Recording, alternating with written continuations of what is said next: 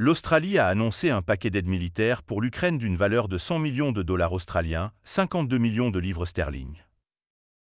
Le ministre de la Défense, Richard Marles, a déclaré que l'argent sera utilisé pour financer des systèmes de défense aérienne à courte portée, des drones pour l'armée ukrainienne et des équipements comprenant des casques, des bateaux pneumatiques, des masques anti-incendie et des générateurs électriques, a rapporté la société de radiodiffusion australienne.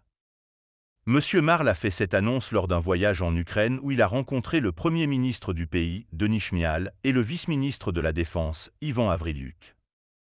Il a déclaré que ce dernier paquet portait l'aide militaire australienne à l'Ukraine à 880 millions de dollars australiens, 459 millions de livres sterling, depuis le début de l'invasion russe en 2022.